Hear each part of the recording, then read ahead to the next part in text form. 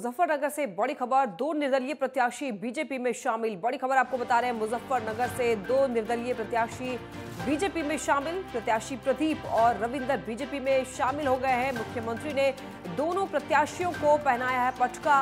खदौली में सीएम योगी की अध्यक्षता में हुए शामिल। बड़ी खबर आप तक पहुँचा रहे हैं, मुख्यमंत्री ने दोनों प्रत्याशियों को पटका पहनाकर अपने पार्टी में शामिल किया है। 2013 दंगे में मारे गए गौरव के पिता है रविंदर सिंह।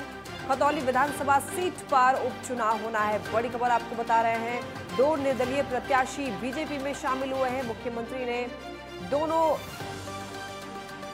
प्रत्याशियों को पटका पहनाकर बीजेपी में शामिल किया है। बड़ी खबर आप तक पहुँचा रहे हैं। मुजफ्फरनगर से दो निर्दलीय प्रत्याशी बीजेपी में शामिल हुए हैं। प्रत्याशी प्रदीप और रविंदर बीजेपी में शामिल हुए हैं।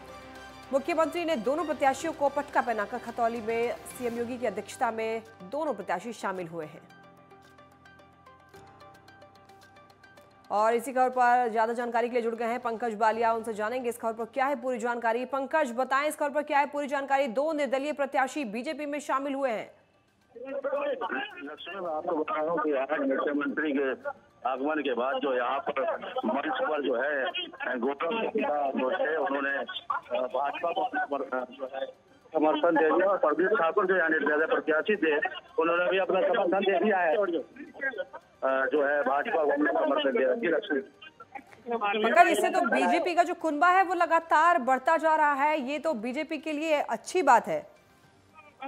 जी लक्ष्मी जिस तरीके से यहाँ खतौली विधानसभा में कई प्रत्याशी जो है वो भाजपा में शामिल हो गए हैं, चाहे वो अभिषेक गुज्जर हो, और लगातार जिस तरीके से आज जो है निर्दलीय प्रत्याशी जो मुख्यमंत्री के आगमन पर यहाँ पर मंच से जो वो उन्होंने अपना यहाँ समर्थन दिया भाजपा को, वो एक बड़ी बात है लक्ष्मी पंकज जी 2013 दंगे में मारे गए गौरव के पिता है रविंदर सिंह।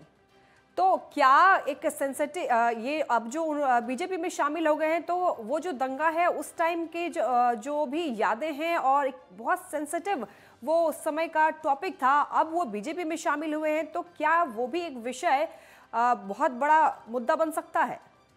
जी बिल्कुल लक्ष्मी जिस तरीके से मंच से जो है मुख्यमंत्री ने 2013 कवाल कांड को बार बार याद दिलाया है जनता को और उन्होंने ये भी कहा कि विक्रम सैनी की जो सदस्यता गई है, वो इसी कारण गई है और उन्होंने ये भी कहा था गौरव और सचिन की जिस तरीके से क्रूरता से हत्या हुई थी, उसके बाद से यहाँ पर जिस तरीके से सदस्यता अपनी विक्रम सैनिक हुई है और आज जिस तरीके से समर्थन रविंद्र ने हमें दिया है तो ये भाजपा के लिए बहुत बड़ी बात है और आने वाले समय में ये जो है कवाल कांड भाजपा की जीत के लिए बड़ी बड़ी बात होगी, लक्ष्मी।